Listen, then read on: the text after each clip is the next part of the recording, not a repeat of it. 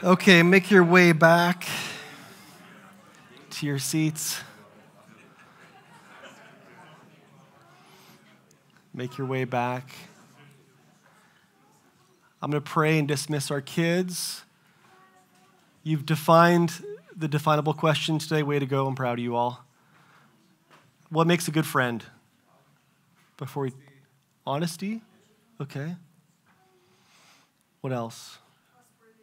Trustworthiness. I like that.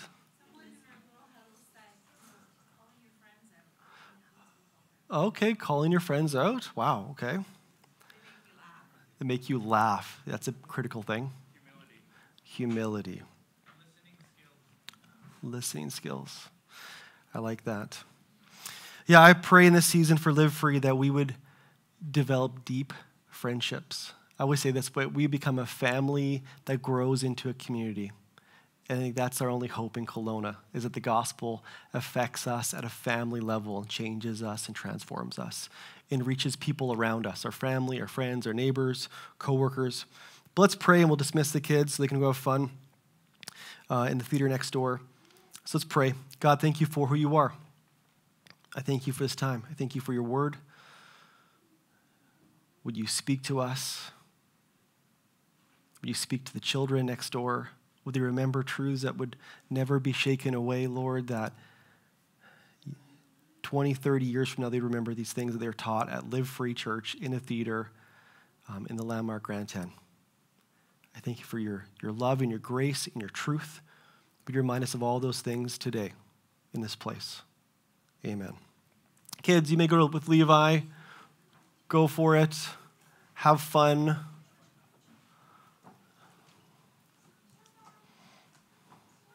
I think they actually have candy in the bin also, which is super fun. No candy here. Sorry, guys. All right, so if you have your Bibles, go to Mark chapter 15, verse 40. We're kind of closing this out, um, Mark's gospel. And um, we use a translation called the CSB and a Christian Standard Bible. Um, I think it's the most readable, accurate translation in the market. I love it.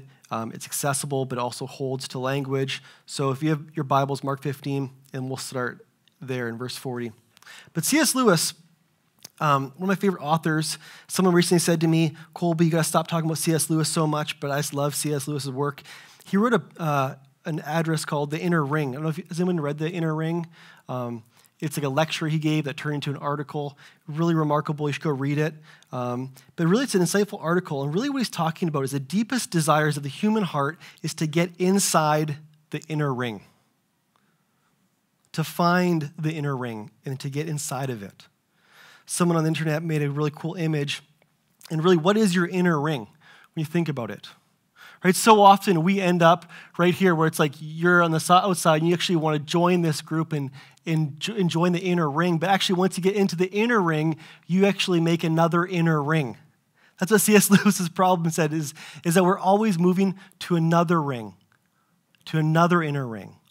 Always. And it shows actually the human heart that you might your inner ring might be going to the right schools it might be knowing the right people it might be the right job it might be the right income it might be the right marriage it might be the right whatever it is for you just fill in the blank. But once you get into the inner ring cs lewis says is that the best part for you and for me as we get into the inner ring is that you have other people come to you that you have other people that want to center around you that they actually orbit around you. Maybe it's morality. Maybe it's the right church. Maybe it's the right ideology or the right theology. That is the inner ring for you. But once you get on the inside and you create another inside, people have to orbit around you. That our life is constantly going from one ring to the next, to the next, to the next, to the next, to try to find our new inner ring because our hearts are not satisfied until they find satisfaction in Jesus. You see, what inner ring are you looking for? Even the people that Jesus encountered in this passage today, marginalized people, religious people, irreligious people, they are actually looking for the inner ring. You look at a metaphor for the inner ring, it's kind of like you think about a solar system, right? When you look at a solar system, it exists as a system because all the planets agree that there's one center and the rest of them orbit around that center. There's only one inside, and that's why it's a system. But imagine if every single planet said, No, actually, I'm going to be the center of the universe. what would it look like? If every single planet became stationary and used all its gravitational pull to get everything else to revolve around it, it said, No, actually, I want to be the center. I want you to orbit around me. I want you to revolve around me. What would happen? You wouldn't have a system, you'd have a disaster, a cataclysm. See, that's us today, isn't it? We talked about a, a quote last week from Oprah Winfrey talking about your truth, but isn't that the world we live in today? When you talk about the fact that we want people to evolve around us or to, to orbit around our circle, the things that we define that make our life significant and secure. And when you look at the problem of our world today, it's the fact that we've actually made our whole world cosmic car wrecks. That sometimes we're not actually orbiting around Jesus, we're orbiting around our career and our financial bank accounts, and our esteem and our degrees, our houses. See, one of the greatest passions C.S. Lewis says is of the human heart is to be on the inside and have everyone else center around you. To really be the center of your own universe. So for you and I, what's your, what's your inner ring? What's the thing when you like close your eyes and you daydream about, man, if I just had this, if I just did this one thing, my life would be amazing. What is your inner ring? Is it health? Is it wealth? Is it power? Prestige? What's the thing that you daydream about? What's the thing that when you are idled, your mind wanders towards? Because we all have that. C.S. Lewis in this article says the quest for the inner ring will break your heart unless you break it. But if you break it, a surprising result will follow. If in your working hours you make the work your end, you will presently find yourself all unaware inside the only circle in your profession that really matters. You'll be the one of the sound craftsman, and the other sound craftsman will know it. Do you hear what he's saying here? Is that when you've arrived as the electrician, you want everyone else to know that you are the better electrician. we do this in church, we do this in life, we do this in our families. We say, when my sister and my brother, they're disasters, but me, I got, pretty, I got it all together. look at my life, look at my house, look at my bank account, look at my everything. You see, I want to look today at how Jesus, in light of the cross, in light of human history, the most critical part, I think, of human history is his death and resurrection. It's how it actually changes our centers. It changes the thing that we actually orbit around. And how realizing that Jesus is the true center of my life and your life actually changes you in deep ways you never thought possible. So, Mark chapter 15, verse 40, here's what it says. Your Bibles go there, it's on the screen. There were also women watching from a distance. Among them, Mary Magdalene, Mary, the mother of James, the younger, and of Joses and Salome. In Galilee, these women followed him and took care of him. Many other women had come up with him to Jerusalem.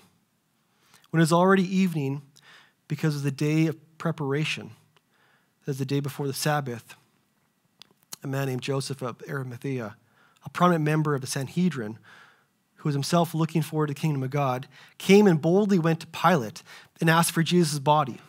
Pilate was surprised that he was already dead. Summoning the centurion, he asked him whether he had already died. When he found out from centurion, he gave the corpse to Joseph, and he, and he brought some linen cloth. Joseph took him down and wrapped him in the linen. When he laid him in the tomb, cut out from the rock and rolled a stone against the entrance to the tomb. Mary Magdalene, Mary the mother of Joseph, was watching where he was laid. So let's look at three people that Jesus encounters in this passage. You have marginalized, you have religious, you have the irreligious. But let's look at the marginalized first. That you and I live in a world where we actually have kind of like equality, don't we? That that when you look at a passage here where in verse 40 it says something very profound that maybe you and I might not even be aware to, might not even have our ears attuned to. That if you go to the end of all the four Gospels, Matthew, Mark, Luke, and John, when you get to the most important events of Jesus' death, his burial, his resurrection, something critical happens. His disciples, they're gone. They're not around. They're scared. They're despondent. They're totally gone. See, when it comes to the death, burial, and resurrection of Jesus Christ, the only followers of Jesus who are really with him through all three of those things were who? Women. See, verse 40. It's only women we can see here was watching when he died. See, women saw where he was buried in verse 47.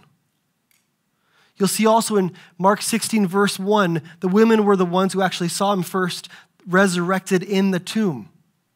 It's like the men disappeared and the women dominate the last part of the Jesus narrative. And here's why it's so extremely interesting for us and interesting in this passage of Scripture. Because both in the Jewish and the Roman cultures, that you might not be aware of this, and of the law of the time, that a woman's testimony had no legal status. That their evidence could never be brought into the court. Their testimony had no legal status at all. There was this universal understanding across all the cultures of the ancient world that what they believed about women. Okay, I'm just going to clarify this right now. This is not what I believe. This is what the culture that they lived in believed was that women were inferior and they are unreliable. That is an offensive message to our culture today. But this is the most amazing thing that in Mark's gospel, all the gospels, that the most critical part in human history of salvation, that God trusts it not to his disciples, not to his inner core of disciples. He entrusts it to women. They're like the lifeline of the gospel. Nobody else knows what's going on, but only the women in this passage, in this scripture, see it. And only the women, and we'll see this next week, know what God's up to. In fact, you imagine for decades after Jesus' death, when they shared these accounts over and over and over and over and over again. When they said, You know why we saw Jesus' death? You know why it's true? Because these are the women that were there that were eyewitnesses. That's what happened again and again and again and again. The women see it. They witnessed it. They saw the death, the burial, the resurrection. See, God makes women his witness at a time in history where no other society would have trusted him the same job. You see, when you look at when you put Jesus at the center of your life, what does it do? It, it brings up the marginalized. What does the death of Jesus do? It brings the marginalized into his orbit, even when you think that they're actually not qualified. It elevates, their status. It pulls people in from the fringe. People who have been longing forever and ever and ever to get into an inner ring but can't. People who in this world say they can't help themselves. See, the gospel, Jesus' life, death, and resurrection that saves sinful people like you and I, what does it do? It elevates people people who are watching and waiting, like the women in Mark's gospel. It's the most amazing thing that this is a document that has women in here as the eyewitnesses. See, God takes a group of women, trusts them with something to do that no one else does. That God shares a secret of what He's doing in the world, shares the gospel with a group of women, brings them in, doesn't keep them on the outside, but brings them into the inner circle. And that's what we have here. We have a God who says, I'm for the justice of the marginalized.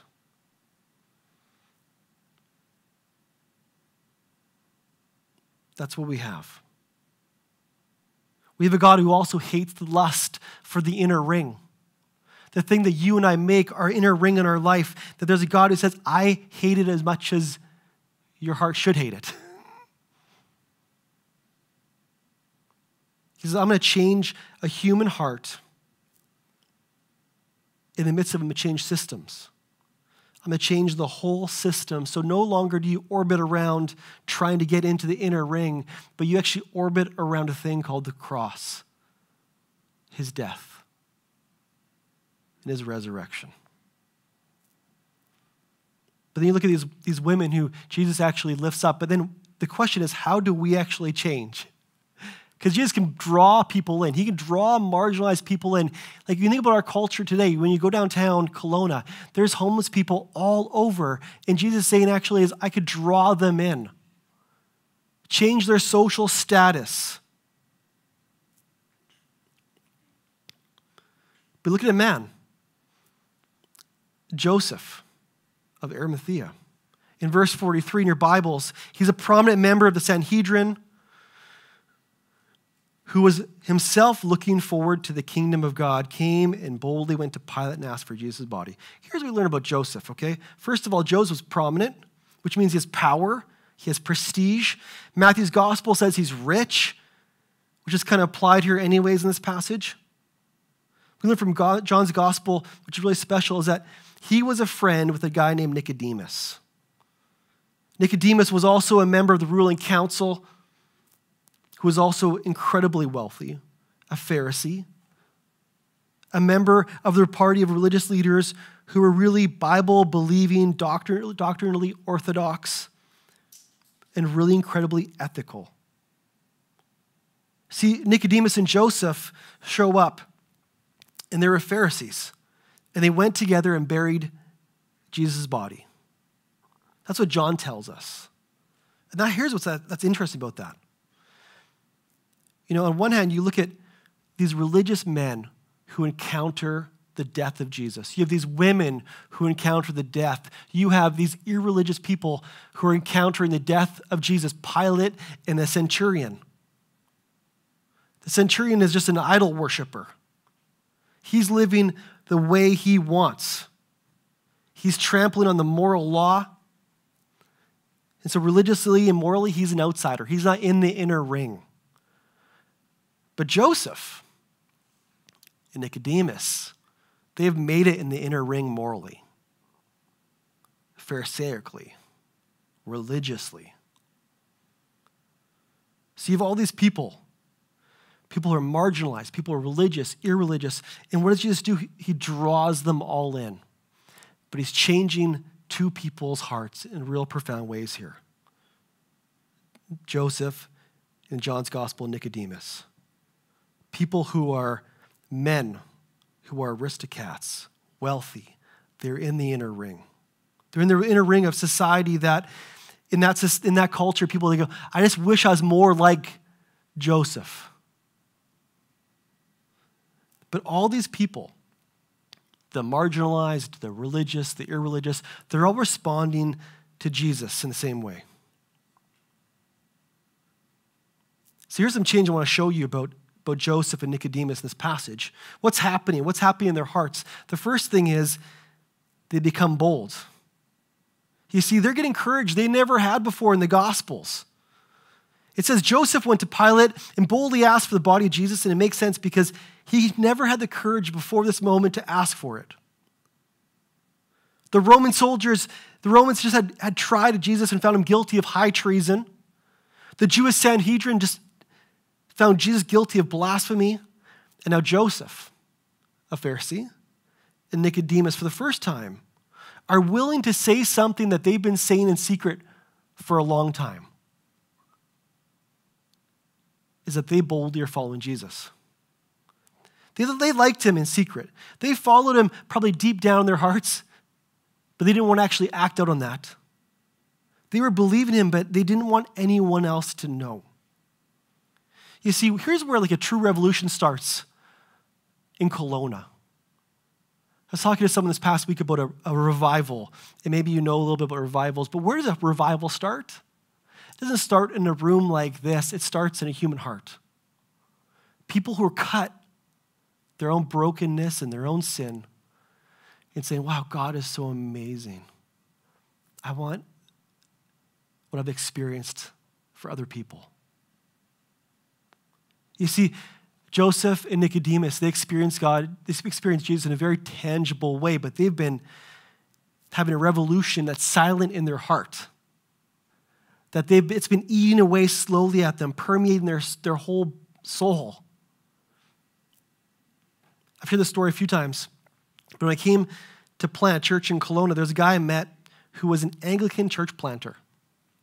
All right, that's just, you don't get Anglicans and Baptists in the same room usually, but we were there and we were doing a simulation. But he shared his story with me. He said, You know what? When I went to university in Florida, I was a devout atheist and I just want to tear Christians down. He said, You know what I did was I went actually into like the, the Christian meetings, like arena hosts at UBCO. And he goes, I go in there and I'm just debating, I'm just a devil's advocate, and I'm just like jeering them and jabbing them. And he's like, it was amazing. It was incredible. I just go in there and trash them. But he said, you know what? Something happened. I started to doubt myself. I started to go home and go, I wonder about this Jesus. Who is he? Like they seem like they really are committed, even when I'm like jabbing them sparring them, putting them down. It sounds like they actually really believe this Jesus. Maybe he's real. You know, this guy, John, had a revolution before he ever stepped and said, Jesus, you're my life. It was an internal revolution. Faith always starts that way. Faith always starts in private, but always goes public. Faith always starts in a safe spot, but always gets pushed to a place of risk. You see, this is where Joseph really grows when it's dangerous, when he's willing to risk it all to bury Jesus, to come out and show that they actually sympathize not with the Pharisees, but with Jesus, the Messiah, the King. Not to the Roman establishment, not to the Jewish establishment, but to Jesus. And it's horribly risky. See what happened. What happened to this man who was in the inner circle? His attitude towards their own power and his own status changed. See, power, money, and status tend to become not just something that you have, but something that you are if you have it. It becomes an identity piece. That's how you feel good about yourself. That's how you wake up in the morning saying, Well, at least I'm not like that person. You ever been there? I've been there lots. That's how you feel good about yourself. You say things like, I can wear these things, I can go to these restaurants, I can be with these people, I can live in this place, and this is who I really am. But here's what you have you have a man who jeopardizes it all his power, his money, his prestige. And that's what Joseph and Nicodemus are doing. They're using all their power as members of the Sanhedrin to go and get a body and to bury it. They're using their power to do the right thing, and they're jeopardizing everything. They're men who forgot about their inner ring and are orbiting around the cross. They're not afraid of losing the status or money their whole life is changing. They become more generous. They're giving away their power. And they're getting more bold. They become more and more bold. Do you know what it looks like for you to step out of your circle, become bold about the things that really matter in our life? The things about following Jesus. Maybe it looks like being more generous to a friend, to a church. Maybe it looks like serving kids ministry. Maybe it means serving your neighbors, telling your coworkers. Maybe it means inviting people to church on a Sunday. I have no idea, but what it means is you become bold. But it also means you become humble. See, these men are not just becoming more strong, but they're becoming more weak. Look at verse 46. What did Joseph do? He actually bought some linen cloth. Joseph took him down, wrapped him in linen, put him in a tomb. We'll talk about this more a little bit next week, but in ancient times in Palestine, when a person died and was buried, what they did was they washed the body, they wrapped it in linen, anointed with spices and perfumes. See, the sun was going down on the Sabbath, and you really can't do something like this. And they didn't finish the job. And you'll find next week that the women come and try to finish the job. You see, this is something that slaves did, that women did. But these men show up in their humbleness. They pull a, a beaten, bloodied body off a cross. It was dirty. It was a dead body. You know, they don't embalm it. It had been beaten. There was guts coming out of it. It was incredibly stomach turning, loathsome, dirty, awful job. But who shows up to do it? Joseph. John's Gospel, Nicodemus. Not predominant men do this. You see, what does a changed heart look like? It looks like you have incredible boldness and you have incredible humbleness to go to places that you never thought you'd ever end up. Imagine if you asked Joseph in this moment when he's wrapping Jesus' body three years before that, if he expected to be wrapping a crucified man's body and place him in a tomb, there's no way. You see, humbleness puts you in places outside your inner ring, places of comfort and prestige. It takes you to spots where you never thought you'd be. See, that's what the, the gospel does. That's what Jesus does. It makes you bold and humble. But here's how you realize I think you're stepping out of your own circle to orbit around Jesus. Right? The gospel, which we always say a lot here, which is the fact that you and I are sinful, broken people in need of a Savior, and Jesus Christ lived and died, rose again to save us from sin, Satan, and death, and truly make us free in Him.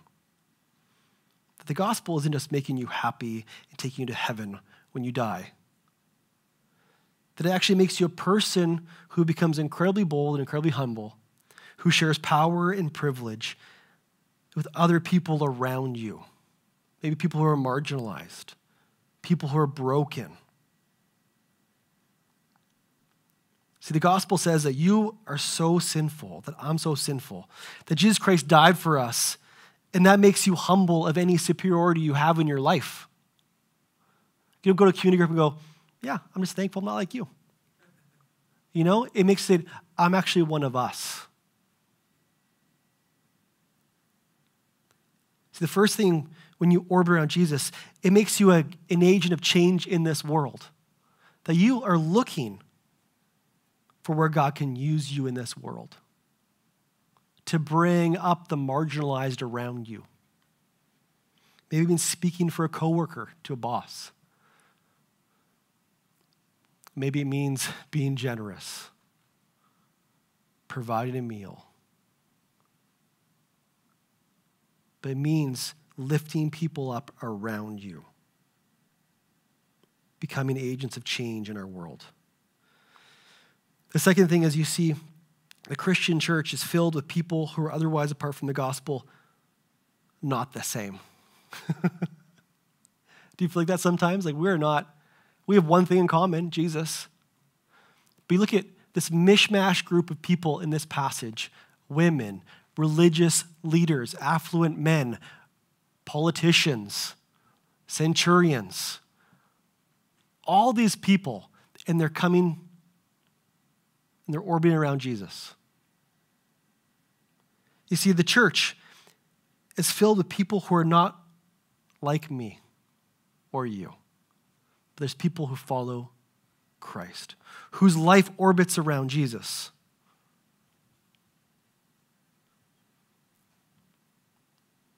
Your Christianity, the gospel, actually has, makes you have empathy for people, people who might be hurt, who might have a nuclear family but might not have a nuclear family. It might mean people whose kids are know Jesus, but people whose kids don't know Jesus that we're deeply wanting to know Jesus. When I look around my community group all the time, what I have in common with these amazing, incredible human beings? Jesus. That's how you know you're orbiting around not just your own little circle anymore. We're not just building like little spheres of, of cliques that people can say, yeah, in the church, I've arrived with my own little age category, and now I'm good. Someone just, just asked me last week, you know, he's a, he's a pastor, and he goes, So what's your young adult ministry like at your church? And I said, Yeah, we just call people adults. Sorry, we don't have that. I remember seeing someone's graduation for their master's degree. And this person walked across the stage, I'll never forget this moment, and was getting a PhD in some amazing cancer curing chemicals they're working on at UBC in Vancouver. When this person, this amazing young woman, got a degree at 24 years old, a PhD, nobody said, and this young adult is coming here to get a degree. You're just an adult. You see, what happens to us as Christians? It unites us in ways we thought not possible. One of my favorite commentators on this passage, D.A. Carson, puts in a very classic quote. He says here, What binds us Christians together is not common education or common race or common income levels, common politics, common nationality, common accents, common jobs, or anything else of that sort. That Christians come together not because they form a natural collection, because they've been saved by Jesus Christ. We are a band of natural enemies turned into friends who love Jesus for one another's sake. We are turned into friends who love one another for Jesus' sake. That's this church. This church is a band of natural enemies who love one another for Jesus' sake. And that's how you know your life orbits around not just your own little inner circle, but around the cross. The last way I think we can we know that we're orbiting around not our circle, but Jesus. Is you look at your identity and you look at the boldness and the humility you get, it's only really one way through your need for God's grace. It's your need for repentance. It's your need to have something that you can't do on your own. That when you go from inner circle to inner circle to inner circle to inner circle, that nothing can actually satisfy you like Jesus can satisfy you. There's nothing that can save you like Jesus can save you. That when all of us who put our faith and trust in Jesus, what does it start? In a moment of pain, but a moment of grace. A moment of saying, There's nothing left in my life but you, Jesus. I like this analogy of someone sent me of a seed. Right? How does a seed grow? It dies. Like, how do we pray that prayer as a church and say, let every seed of my life die? So, Jesus, you may grow something in us that's unexpected, in ways that's unexpected, in full boldness, in full humbleness. Not us trying to do it on our own, but you actually doing the work in ways I thought not possible, in pain, but in grace. I'm going to bring Levi back up here as we close this out. I pray that we be a church that God's grace, in his humbleness, in his boldness on the cross, would affect us in ways not just on a Sunday morning, but on Monday, Tuesday, Wednesday, Thursday. This whole year would affect us and say, wow, your cross, your resurrection changes in ways we never thought possible, that this might be actually great news for the marginalized in Kelowna, the religious, like some of us, the Josephs in this room the irreligious, the Pilates and centurions. But Jesus, would you do a work in us that we never thought possible? Would you change us in ways we never thought possible? But Jesus, you do the work. That your, your death on the cross reminds us of the places that we need to go in boldness and humility. That's a call for us today to go into Kelowna to go into our communities in boldness and humbleness for the gospel. Let's pray. Jesus, would you show us where we need to be? Would you press upon us your death on a cross that changes everything about us? We think about our own sin, our own brokenness, our own pain. Would you make us bold? because you were bold on the cross to take the sins of this world, to take the sins of us on yourself. In your humbleness, will we become humble to serve those around us? In your name, amen.